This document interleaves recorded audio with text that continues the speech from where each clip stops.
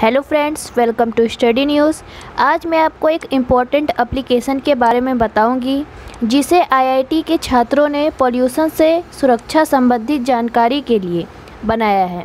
ये एप्लीकेशन कैसे काम करता है और क्या क्या डाटा प्रोवाइड करता है, सब जानेंगे इस वीडियो में सो लेटस स्टार्ट वायु प्रदूषण के बारे में जागरूकता बढ़ाने के लिए भारतीय प्रौद्योगिकी संस्था आईआईटी तिरुपति के शोधकर्ताओं के एक दल ने अपने परिवेश में उपयोगकर्ताओं को देखने के लिए एंड्रॉयड आधारित मोबाइल एप्लीकेशन विकसित किया है।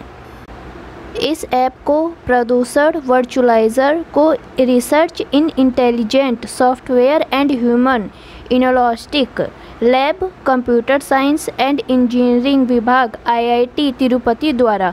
प्रोफेसर सुरेश जैन सिविल और पर्यावरण इंजीनियरिंग विभाग के सहयोग से विकसित किया गया है।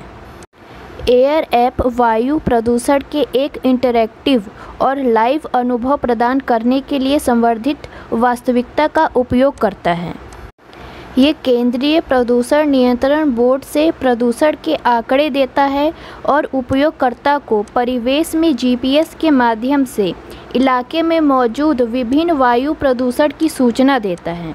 ये air app, air pollution zone की भी जानकारी देता है कि आप किस जोन में हैं, जैसे खतरनाक, डेंजर जोन में, मीडियम जोन में या सेफ़ जोन में।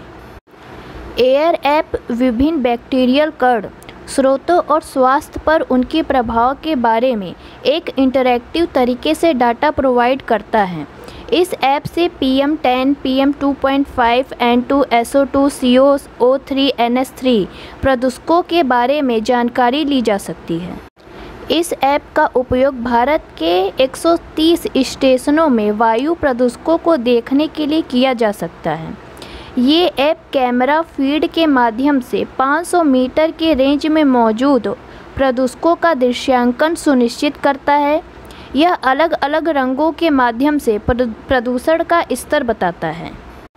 यह ऐप इंजीनियरिंग विभाग के कंप्यूटर इंजीनियरिंग के छात्र डॉक्टर श्रीधर चिमला कोड़ा और नोबल साजी मैथ्यूज द्वारा नागरिक और पर्यावरण इंजीनियरिंग विभाग से प्रोफेसर सुरेश जैन द्वारा विकसित किया गया है। तो ये थी पूरी जानकारी इस एप्लीकेशन के बारे में। So thanks for watching this video comment करें सब्सक्राइब करें एंड लाइक दिस वीडियो